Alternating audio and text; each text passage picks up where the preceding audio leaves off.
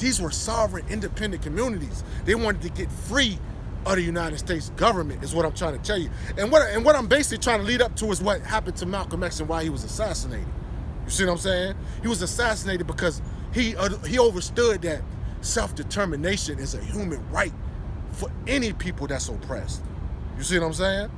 So that's what I'm basically trying to explain to you. You know what I'm saying? Like the struggle of Malcolm X, the struggle of Che Guevara, the struggle of real true revolutionaries all across this globe, and, and, and all these uh, independence movements is what I want to call them. They're independence movements, like what you see going on in Catalonia, Kurdistan, Puerto Rico, Biafra.